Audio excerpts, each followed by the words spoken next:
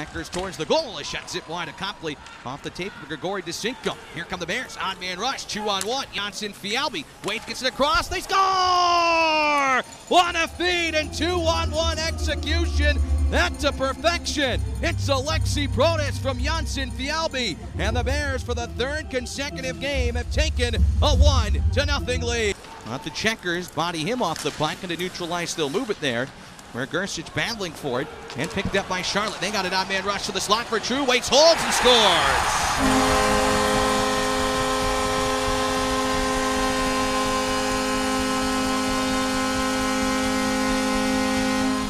that luckily did not turn into a disaster, but it was awfully close. Checkers in. Now they fire off the post and in.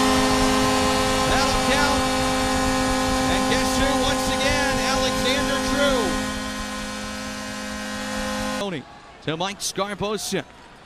Rolling to the slot. Still with it. Doesn't shoot. Goes to the goal line. Pilon works out of the corner looking for a lane. Good patience. Far circle.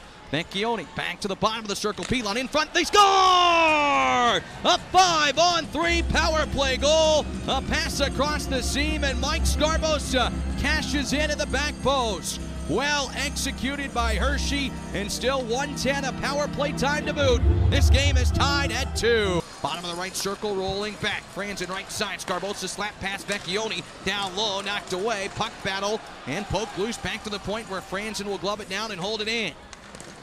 To Mike Sgarbossa on the near wing. Towards the goal, deflected on net. Gibson the save. The rebound's there. Swatted at. They score! Garrett Pilon cleans up the trash in front of the net. Another power play goal for Hershey. A jam play at the net front. And Pilon says, look what I found. It is 3 to 2 Hershey. Copley on the wrister. Bounces in front and pops over his head on this second effort on the near side boards from Wilson. Olafson with it at center, a dump down the ice. Icing waved off. Mammoth gets there first. Centers Copley to save the rebound. They score. Aleksi Heponiemi off the post and in. 4.19 left in the second. We're tied up again. It's 3-3. Second line out for Hershey Pinot Molson.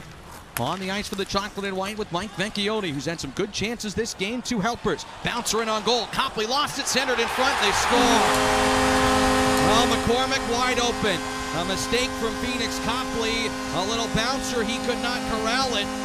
And it's 4-3 checkers with 4.44 to go. It's not out yet. Back to Franzen. His drive got blocked.